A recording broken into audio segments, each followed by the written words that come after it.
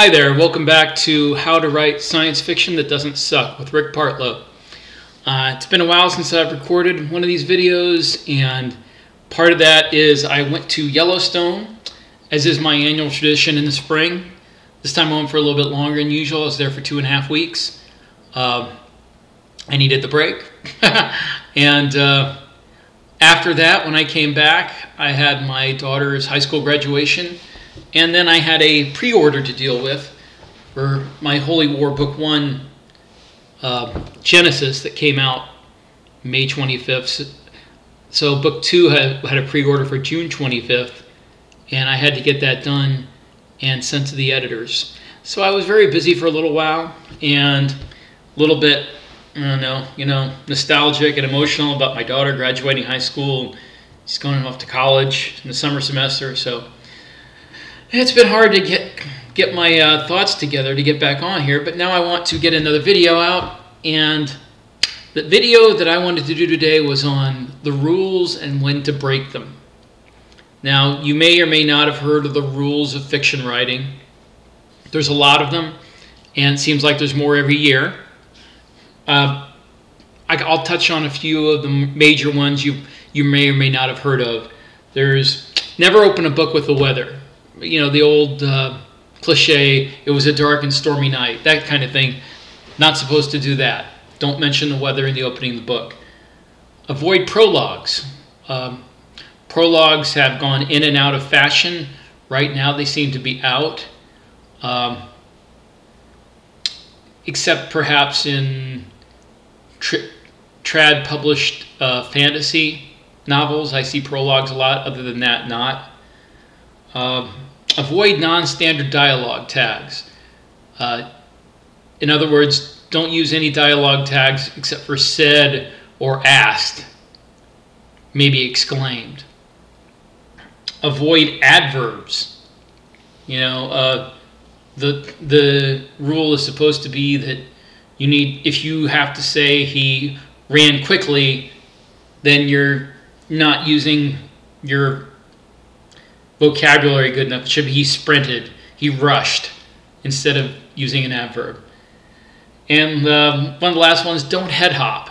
If you're using third person limited point of view and you're telling a scene from the point of view of a certain person, you can't jump to another person in that same scene. You have to break the scene, go to the other person, then come back to the original.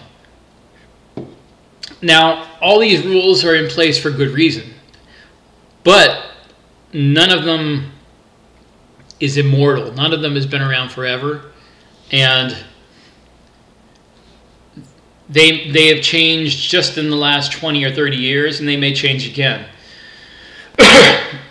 now, I want to talk about why it's important to know these rules before you break them. Because you may think that if you break these rules by accident that nobody will be able to tell that you didn't do it on purpose, but they will. Not everybody will, but enough people will that they'll mention it in, in your reviews, in critiques. So you need to be aware of when you're breaking the rules and do it purposefully and do it as masterfully as you can. Let's talk about a couple of them in particular. My favorite is the non-standard dialogue tags. Um, it's fine for people to say, oh, if you say said, it's invisible. And it may be invisible, but it's not inaudible. And with audiobooks taking over a biggest section of the market as they have been, you're going to probably, if you're successful with your book, see it made into an audiobook. And believe me, although your, your mind may skip over said when you see it on a page, when the narrator says it over and over and over, like 20 times in one page, you do notice it, and it's annoying as heck. So don't do that. I don't care what anybody says, oh, it says invis- it's not invisible. Don't use it over and over in the same page, the same section. If you don't want to use non-standard dialogue tags, and I understand that, like uh, I would I would just not use dialogue tags at all. I would use an action cue like You know, that's not why we're here, period, close quotation. John sat back in his chair and rubbed his head tiredly. Use an action cue to show who you're who's saying the words. Um, if you're gonna if you're gonna not use non-standard dialogue tags, then you need to not use the standard ones over and over. It does get annoying, and people will notice it, especially in an audiobook. Uh, personally, I don't think there's anything. I, I know it's it's considered a cardinal sin to do things like, I don't know why we're here, comma, close quote, John shrugged. Because you don't shrug words. But yeah, that's a rule, and editors will jump on you about that. But to be honest, nobody cares. The readers don't care. The readers aren't going to notice that. The readers aren't going to say, oh my God, you're a horrible writer because John shrugged those words. No, they don't care. Uh, that's the one thing about all these rules. They're all rules. They will all get you jumped on by editors if you break them. But in all honesty, all honesty, if your story is compelling, if your characters are engaging, if the readers are enjoying what they're reading, nobody's going to care if you break these rules. Nobody. Uh, the only one that might be an exception is head hopping because you could confuse the, the reader by, they, by them not knowing whose point of view the scene is from. But as far as using adverbs, using non-standard dialogue tags, uh, all these other rules that are out there, you know, if you tell a good story, nobody's going to care. So that's getting away with breaking them. Uh, they are there for a reason, however, because if you use adverbs a lot, then you are going to, it's going to get noticeable eventually. Uh, I think adverbs are fine. I know, I think it was Stephen King that said to eschew adverbs, but I think adverbs are fine in moderation. Um, as long as you don't use them over and over again in too short of a period of time, I think they're fine. I think they can be done well. I also think that trying, spending your time trying to come up with different verbs to describe the same action instead of using an adverb is a waste of your time in writing. I mean, yeah, he sprinted, he rushed, he, you know, his, his heels kicked up dirt as he sprinted across the field. And, you know, is, is more colorful and more visual than he ran quickly.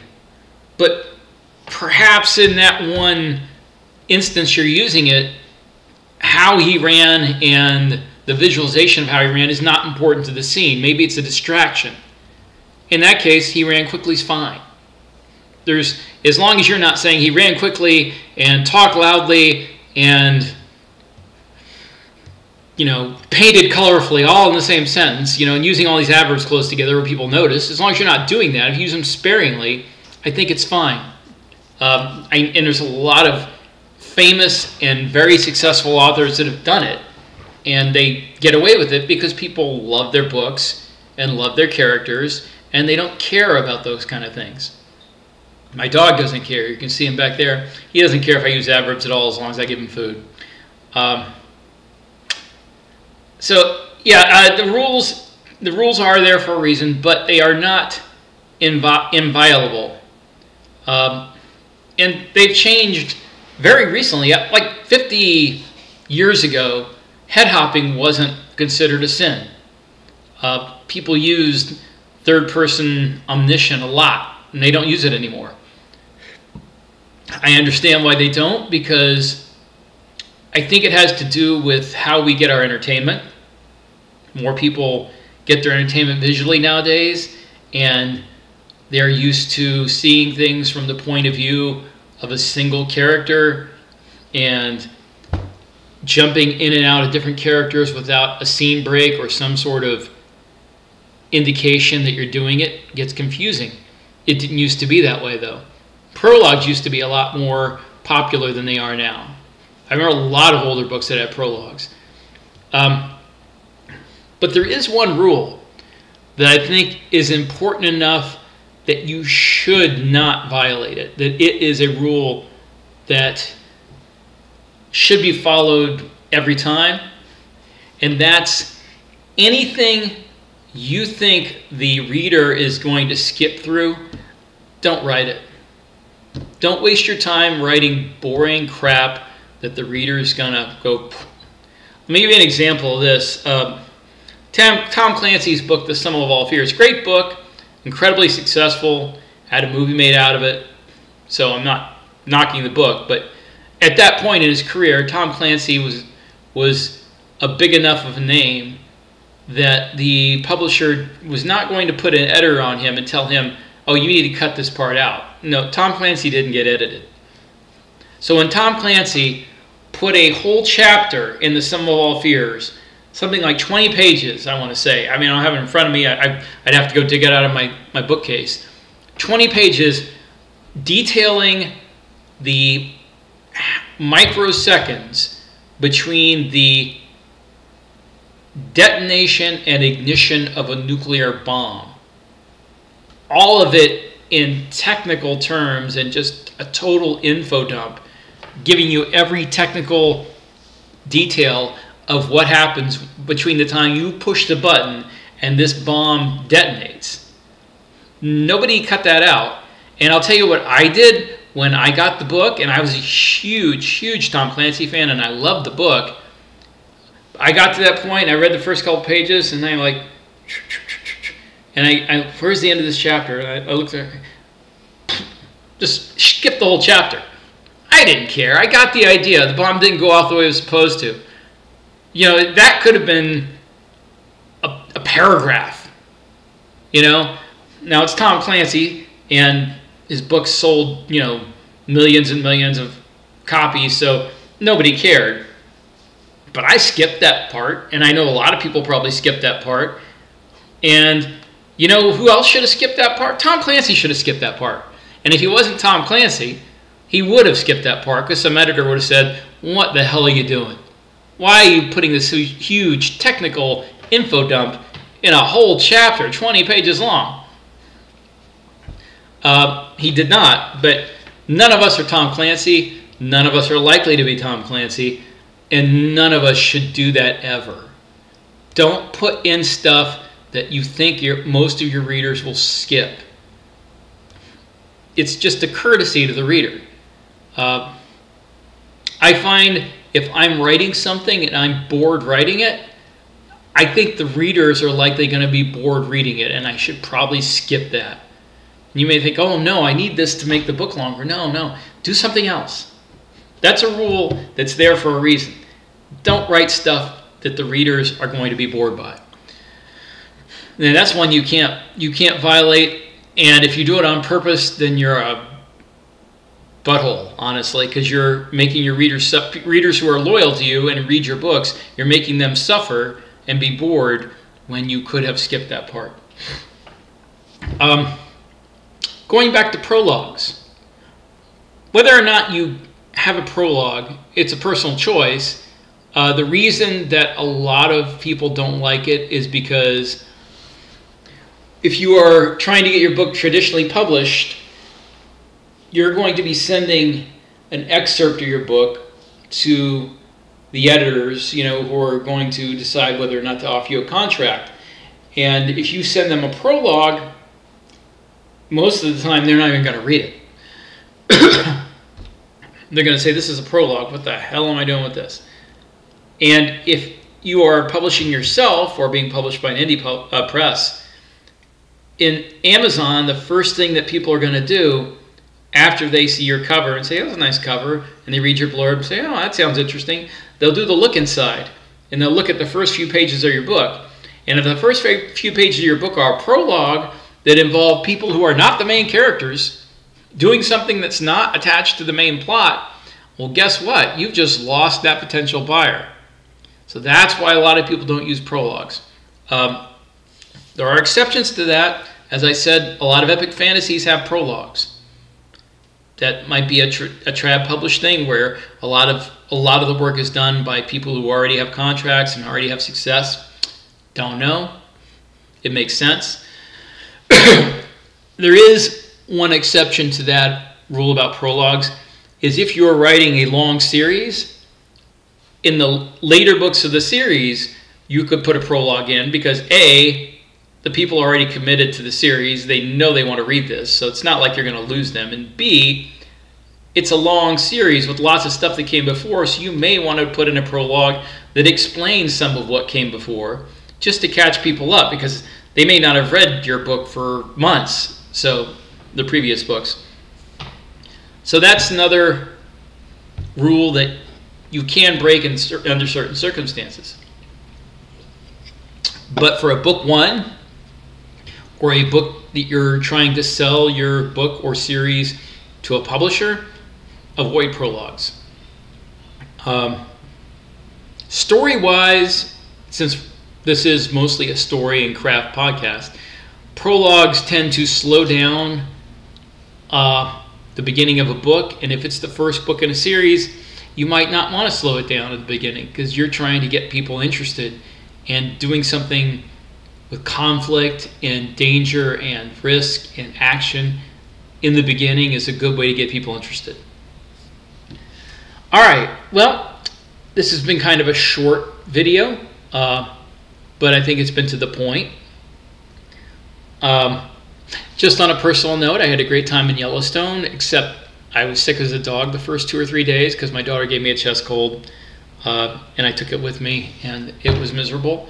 But after I got through that, I had a great time. I saw lots and lots of animals, got lots and lots of pictures. If you want to see pictures of, of the wildlife I saw. I'm a wildlife photographer by hobby and passion, and you can go to Facebook and look up Rick Partlow Photography.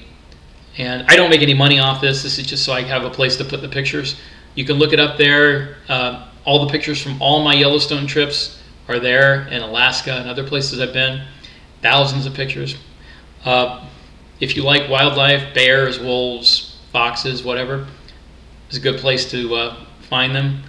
Or you can go, I have a PBase account, which is a little bit harder to navigate, but it's pbase.com backslash R-I-K-W-R-I-T-E-R, and that's all my photographs as well. So if you like wildlife and nature and the outdoors and photography, you can check it out if you want. Um, I find that, as an aside having to do with writing, taking a break from writing for a couple of weeks once or twice a year really helps.